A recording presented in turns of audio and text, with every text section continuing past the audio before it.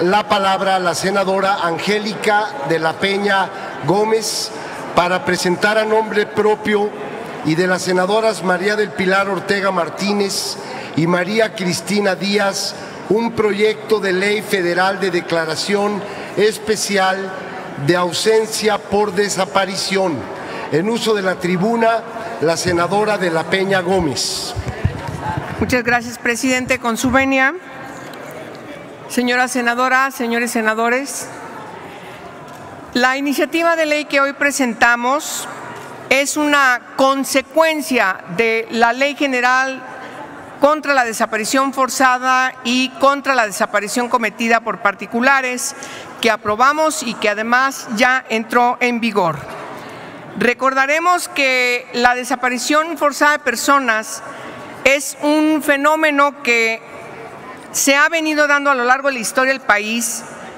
sucediendo eh, de manera más enfática desde lo que conocemos como la, guerra sucia y hasta la actualidad y haciendo crisis a partir del sexenio pasado y lo que va de este sexenio.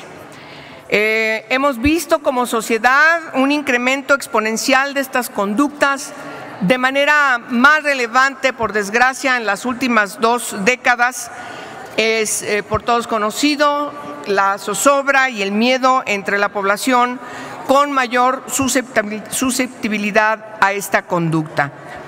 En el grupo de trabajo de Naciones Unidas sobre desapariciones de personas, considera que el fenómeno de la desaparición forzada es una conducta de carácter pluriofensivo que viola derechos civiles y políticos, así como derechos económicos, sociales y culturales. La desaparición forzada es de suma relevancia eh, sancionarla por las graves y además prevenirla por las graves afectaciones que produce en las víctimas y, por supuesto, en las víctimas sobrevivientes y en las familias de las personas desaparecidas. ¿Qué es este delito? Pues es un delito que no prescribe, es un delito permanente y continuo, es un delito que afecta a toda la población de manera grave. Encontramos eh, que casi un poco, casi llegamos al tercio de la población que desaparece es menor de 20 años y por supuesto cada vez la presencia de mujeres, de niñas en estas condiciones es realmente dramática. Hoy la ley que estamos eh, presentando, insisto, deriva de los transitorios a los que estamos obligados en esta ley para atender uno de los preceptos importantes que reconoce la ley. Además de establecer las políticas públicas para la búsqueda, también las eh, definiciones de naturaleza penal para la sanción, para la investigación, para la configuración del todo el Sistema Nacional de Búsqueda de Personas Desaparecidas, para eh, lograr definir con toda puntualidad la tipificación del delito penal de desaparición forzada y del delito cometido por particulares, además de las políticas de prevención, además de las políticas de atención, también es necesario atender la declaración de ausencia cuando una persona ha desaparecido y deja en una indefensión a su familia. No se sabe dónde está, no se sabe cuál es su paradero, no se sabe cuál fue su suerte y entonces la crisis de la búsqueda también va acompañada con la situación de afectación, sobre todo cuando la persona que ha desaparecido es la persona proveedora de esa familia. De tal manera que si no sabemos si está viva o no, no sabemos cuándo vaya a aparecer y en qué circunstancias, entonces necesitamos como Estado darle alternativas y protección a esas familias de tal manera que jurídicamente teníamos que diseñar este precepto de la declaración de ausencia.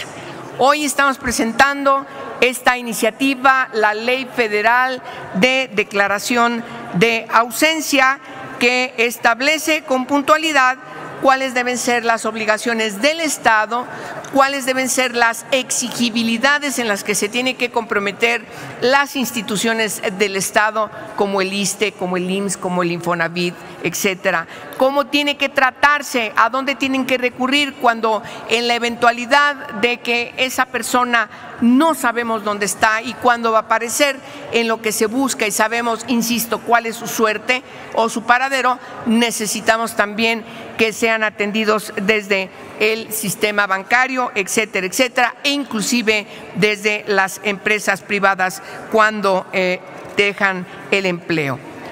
Los cuatro capítulos de la ley que estamos presentando, por cierto, igual que hicimos con la ley de desaparición forzada, también inscribimos una, una reunión de trabajo técnico con los y las familiares de las personas desaparecidas.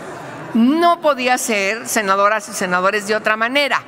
Trabajamos mucho tiempo con las familias de personas desaparecidas para el diseño de esta ley. Esta ley hemos dicho que es una buena práctica del trabajo legislativo y parlamentario por la vinculación siempre en la misma mesa del trabajo del diseño del dictamen con familiares de las personas desaparecidas, con las instituciones que tienen que atender estas, estos preceptos de esta ley. Y por supuesto esta ley que hoy estamos presentando también está diseñada, está eh, trabajada con las familias de las personas desaparecidas que eh, además algunas de estas organizaciones tienen una enorme experiencia que era importante, que era importante tomar en consideración. ¿Cuál es esa experiencia? Pues ni más ni menos en donde ya existe una ley similar en algún estado, que es el estado de Coahuila. Si bien tenemos en la Ciudad de México y también en el estado de Querétaro una ley sobre declaración de ausencia, allí no tienen la experiencia, la experiencia que por desgracia tienen en Coahuila.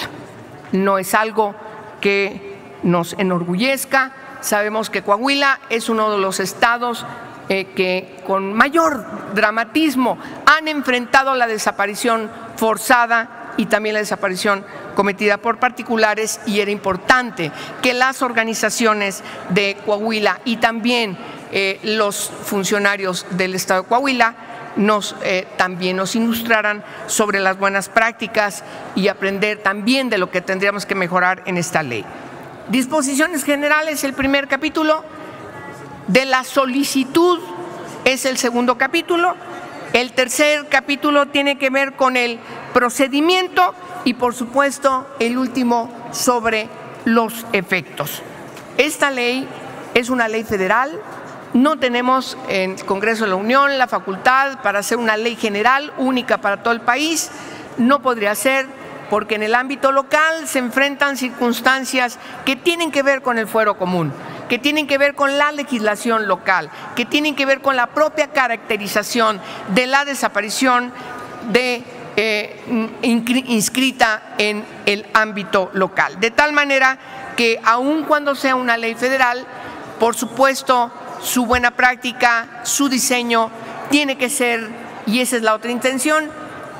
un propósito muy respetuoso para que sea considerado por los congresos locales que aún no tienen una ley en esta materia y que por mandato de la ley general tienen que cumplir en tiempo y forma también en las 32 entidades federativas de una ley con estas características. De tal manera que hoy presentamos esta iniciativa de ley que tenemos toda la intención de aprobarla antes de que termine este periodo, de tal manera que junto con el eh, mm, turno a las comisiones que dará usted, señor presidente, también eh, instalaremos el trabajo en conferencia con la Cámara de Diputados para lograr, insisto, el cometido de que antes de que termine el periodo ordinario de sesiones de esta legislatura tengamos esta ley federal sobre declaración de ausencia en el marco jurídico federal para seguir dándole atención a lo que nosotros mismos nosotras mismas nos mandatamos en los transitorios para garantizar el cumplimiento e instalación de las herramientas y los mecanismos, los mecanismos de esta ley. Es cuanto y muchas gracias por su atención.